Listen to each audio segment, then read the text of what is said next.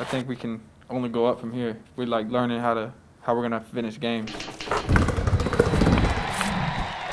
The Boston Celtics didn't get the Christmas present that they were looking for, and that was a win over the Milwaukee Bucks on Saturday. The Celtics continue to be one of the teams in the league that has been hit hard with COVID 19 and the NBA health and safety protocols. And today was no exception as they approached it with the next man up mentality, and that served them well in the first half as the C's they held a 15 point lead at halftime.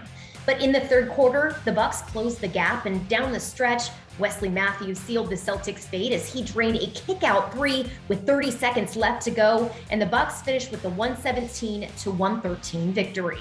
Give them credit; they made some plays,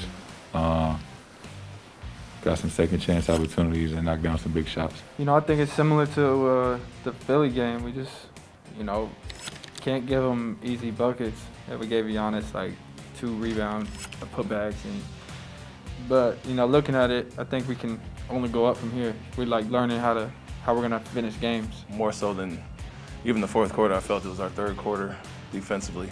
To hold them to 22, 25, 27 in the first, second, and fourth, we, we did enough defensively there. That 43 point third quarter is, is really what hurt us. I, like I said, offensively at the end, we got wide open looks. You make those, obviously, it's a different story and we did score enough in that. I mean, we didn't score enough in the fourth, but uh, defensively in the third, we what we did well in the first half wasn't carried over.